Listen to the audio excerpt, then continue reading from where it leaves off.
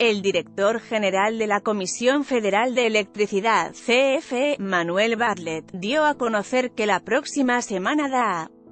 detalles del Programa Nacional de Electricidad. En su cuenta de Twitter, el funcionario indicó, sostengo reuniones con áreas estratégicas de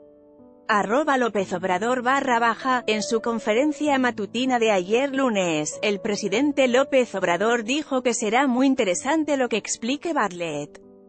acerca del nuevo plan y la nueva política de manejo de la CFE yo les puedo adelantar que no existe ningún